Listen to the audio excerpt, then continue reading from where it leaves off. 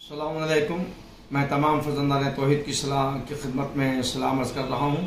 ناچی سے تہذیب حسن رضوی، امام جمعہ والجماعت مسجد جعفریہ لاچی جا کر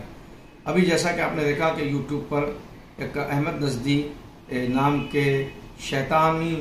حرکات انجام دینے والے شخص کا ایک ویڈیو وائرل ہوا ہے، جس میں اس نے حضرت امام مہدی علیہ السلام کے سلسلے میں نازیبہ کلمات کا استعمال کیا ہے۔ ہم اس کی مذمت کرتے ہیں اور میں تمام عاشقان رسول سے ایک اپیل و گزارش کرنا چاہتا ہوں کہ ابھی ہم لوگ ایک شیطان سے ابھرے بھی نہیں پائے تھے کہ دوسرا شیطان پھر ہمارے سامنے آ گیا۔ ابھی مرتد وسیم رضوی نے جس طریقے سے نبی اعظم صلی اللہ علیہ وسلم پر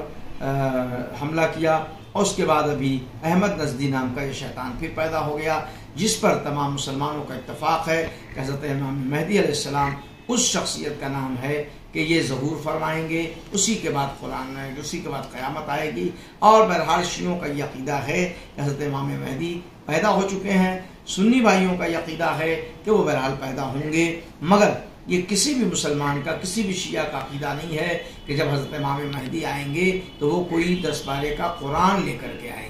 ایسا کسی شیعہ کا عقیدہ نہ کل تھا نہ آج ہے اور نہ انشاءاللہ رہے گا۔ اس لیے کہ شیعہ قرآن و حدیث کی تحریف کرنے کا نام نہیں ہے، بلکہ عقیدے اور عمل کا نام شیعہ ہے۔ لہٰذا میں اس کے نازبہ جملوں کی مذمت کرتا ہوں اور تمام مسلمانوں سے گزارش کرتا ہوں کہ اس شیطان اکبر کا منہ توڑ جواب دیں، جو احمد نجدی نام کا نیا شیطان پھر ہمارے ملک میں پیدا ہو گیا ہے اور ایسے لوگوں کے وجود سے ملک کی سالمیت کو خطرہ ہے۔ چاہے وہ وسیم رضوی ہو، چاہے احمد نجدی ہو، میں حکومت ہند سے گزارش کرنا چاہتا ہوں اس ویڈیو چینل کے ذریعے سے کہ سرکار سخت سے سخت کاروائی کرے، ایسے لوگوں کو گرفتار کرے جیل کی سلاخوں میں بند کرے تا کر کے ہمارے ملک کی گنگا جمنی تہذیب ٹوٹنے نہ پائے اور ہم لوگ مضبوط رہیں۔ میں آخر میں مذمت کرتے ہوئے تمام مسلمانوں سے گزارش کرتا ہوں کہ ایسے شیطانوں کے خلاف